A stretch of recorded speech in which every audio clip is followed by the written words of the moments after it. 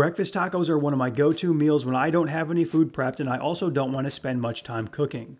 I've got my method down to a science where it only takes me about 10 minutes to get to Taco Town and I only dirty one dish in the process. These breakfast tacos are made of eggs, cheese, and potatoes and have about 152 calories and 7 grams of protein per taco. This is how I make them. Start with one small russet potato or 100 grams worth and cut that into french fry shape. Most of the time when I make these breakfast tacos, I use a few of my crinkle cut french fries that I keep in Snack City, which makes this process even easier. But because I'm still in between kitchens, Snack City is currently a ghost town and I don't have any prepared. Once you get your fries cut, you can place them into the basket of your air fryer and drizzle over a half a teaspoon or about 2 grams of oil. Now using an oil spray would be much easier and save you some of the effort of having to mix it up by hand, but my oil spray is somewhere packed away and I have no idea where it's at. After it's been coated with the oil, you can sprinkle over a bit of salt to your liking and then move it into your air fryer at 400 degrees Fahrenheit or 204 Celsius for 8 to 12 minutes. While those potatoes are cooking, you can get out two large eggs or 140 grams worth and crack them into a small dish. Add in 1 tablespoon or 15 grams of milk, a bit of salt to taste, and beat those together until they are smooth. I'm sure with this next take, some of you are going to try to call the police on me and have me immediately jailed, but I think one of the best ways to make scrambled eggs is actually in the microwave. I'm still kitchenless, so into the garage we go where the microwave currently lives, and these eggs are going to take about a 90 second ride to be cooked. The microwave makes wonderful fluffy scrambled eggs in no time at all, and it saves me from having to clean a pan. This dish here is the only one from the cooking process of these tacos that I'll actually have to clean, and it can just be tossed in the dishwasher. I'll let the eggs go for 45 seconds or so, and then pull them from the microwave to stir them up so that they cook evenly. Then I return the dish to the microwave for another 30 to 45 seconds. Cook times will depend on the size of your bowl and microwave, so watch it carefully to not overcook.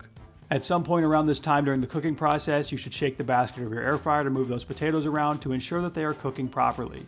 While the eggs and the fries are finishing up, place a large dry skillet over medium-high heat and add four 5-inch corn tortillas to be warmed and lightly browned. Flour tortillas are awesome for breakfast tacos as well, and you should use whatever you prefer. Gather your potatoes and eggs nearby as they finish cooking and flip your tortillas over to the other side. Next, I like to lay down my cheese while still over the heat so that it has the opportunity to melt. Take two slices or 46 grams of the cheese of your choice, I'm using Monterey Jack, have them and place a slice onto each tortilla. It can also be helpful to place some of the hot potatoes over the top of the cheese to assist in melting from the other side. Then once the cheese has been melted, you can transfer the tacos over to a plate and finish the construction process with the eggs and whatever other toppings you desire. Now I'm sure there's going to be a litany of comments saying, where's the bacon? Here's the deal. This is going to be hot take number two.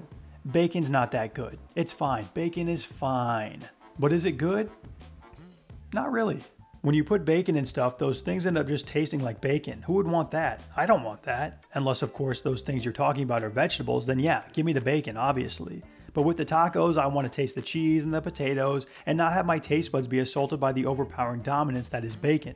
Not for me. Pickled red onions, on the other hand, yeah, give me those little shits. I want that. I always keep a supply of pickled onions in my fridge for times like these, and I've showed how to make these in other videos on my channel, so I'm not going to repeat it here, but I'll be sure to include it in the written version of the recipe in the description. For my toppings, I went with some hot sauce, the pickled onions, and cilantro for the leafy green law, which as you veterans of the channel know, legally makes these tacos count as salads. All four of these tacos total up to be about 606 calories with 28 grams of protein. I've gotten so quick at making these that I can be done in about 10 to 15 minutes. The dish that I use to cook the eggs with, and I guess the plate that I ate these on, are the only dishes that need to be done afterwards. The skillet stayed clean since it was just some dry tortillas, and I'm gonna be honest, I don't clean my air fryer very much. Whether it's for a dope breakfast or a nice little pre-bedtime meal, these breakfast tacos are the dog's bollocks.